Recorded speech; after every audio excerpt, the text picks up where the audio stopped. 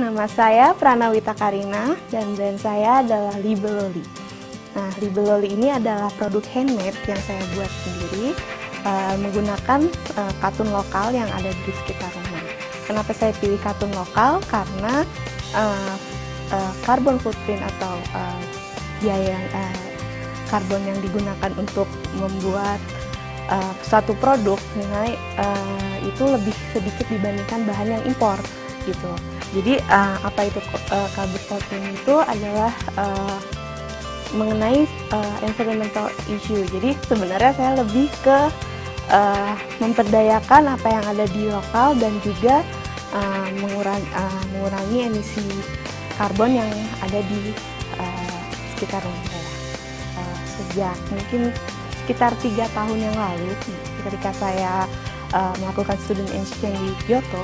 Jadi uh, Kyoto itu memiliki satu tempat yang uh, apa namanya menggunakan semuanya itu dari uh, bahan lokal mereka yaitu linen Jepang.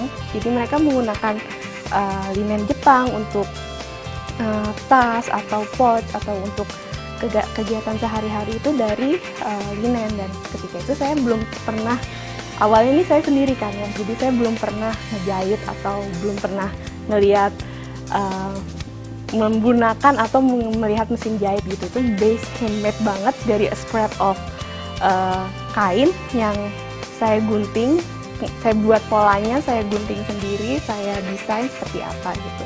Jadi uh, ketika saya balik kembali di sini produk tersebut belum ada gitu. Orang lebih cenderung ke uh, brand yang waktu itu kan ini lebih vintage floral ya jadi itu waktu itu ada Cat Kitchen atau uh, yang lainnya itu uh, apa yang harganya nggak affordable buat orang-orang kelas menengah ke bawah gitu kan.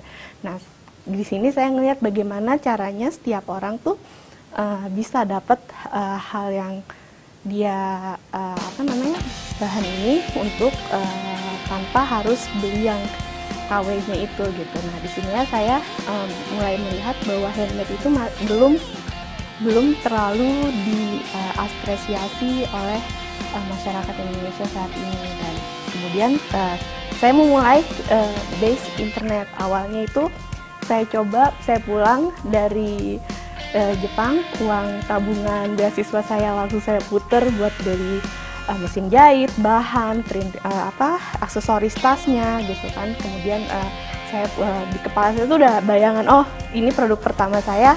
Uh, waktu itu saya pengen buat yang kayak uh, envelope envelope um, pouch gitu kan. Envelope pouch ini uh, langsung kebayang oh pulang saya harus punya mesin jahit, beli bahannya, bikin envelope pouch gitu. Jadi satu tadinya nggak kepikiran tuh uh, kepik uh, cuman di pouch ini hasil dari jalan-jalan ke Jepang gitu misalnya.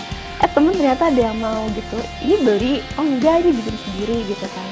Ternyata ada yang mau uh, dibikin kemudian uh, langsung saya bikin satu account yang khusus untuk libeli ternyata uh, apa namanya uh, feedbacknya uh, makin baik makin bagus permintaan makin banyak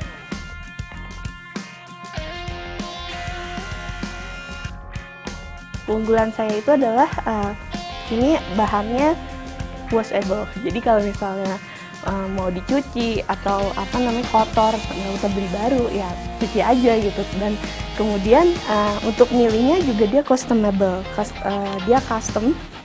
Jadi bisa pilih sesuai misalnya bentuknya. Oh saya mau misi satu set dong gitu misalnya. Yang ini uh, apa namanya tas pouch sama sajadah ya gitu. Maksudnya kan uh, dan itu kan jadi apa ya kayak custom yang mm, nggak mm, semua orang punya gitu yang uh, tas ada tas ada pouch ada saja ada satu set di mana lagi sih dapatnya gitu? Kan bisa dapat di mana aja gitu. Cuman di Libeloli gitu. Yang di Libeloli ini gitu. Jadi mm, keunggulannya ya pertama unik. Jadi dia precious dan priceless gitu loh. Jadi nggak ada yang bisa nyamain lah handmade itu batchnya tuh kayak apa dan custom itu sesuai dengan uh, keinginan custom yang saya lihat di sini. Itu peluang paling besarnya handmade itu kenapa ya? Itu karena keinginan uh, konsumen itu bisa diakomodir dengan uh, baik di handmade itu. jadi ada order uh, orang misalnya mbak saya mau kayak gini tapi ada slingnya ya atau uh, atau saya mau ngasih hadiah nih orangnya misalnya berdasarkan kepribadian orang tuh aktif dia suka bawa ini suka bawa itu uh, apa tapi dia nggak mau ribet gitu. Oh ya udah saya mulai dari desain.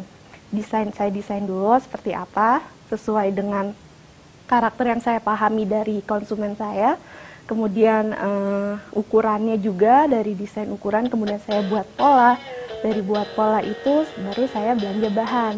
Nah bahannya itu kadang saya ada yang stok ada yang made by order juga gitu. Jadi saya mau bahan yang uh, warnanya biru ada apanya gitu dengan detail tertentu saya belanja dulu. Nah setelah belanja uh, bahannya itu saya gunting berdasarkan pola kemudian jahit uh, tambahkan detail aksesoris jadi deh. Top per tahun omset uh, kotornya ya semuanya pendapatan saya itu uh, bisa mencapai sekitar 200 juta 200 jutaan. Dan uh, jumlah produksinya nah ini saya lupa jelasin juga ternyata Libeloli itu uh, sekarang udah mulai ke souvenir gitu. Kenapa omsetnya jadi gede juga saya dapat dari souvenir gitu. Souvenir yang handmade itu produksi saya bisa uh, sekitar 5 500 sampai 1000 pieces berdasarkan ini ya dengan uh, apa namanya uh, karyawan lima orang. Internasional saya uh, jualnya yang batik yang ada signature Indonesia-nya. Kalau yang lokal saya uh, ke vintage ini. Saya perlu mengembangkan usaha saya lebih jauh lagi gitu kan. Dan uh, sebenarnya jujur saya tertarik sama itu yang apa hak kekayaan intelektualnya dan uh, apa ya namanya uh, lah apa sih sebenarnya saya tuh suka uh, hasil karya kita tuh benar-benar di uh, apresiasi dengan mengakui hak kekayaan intelektual kita.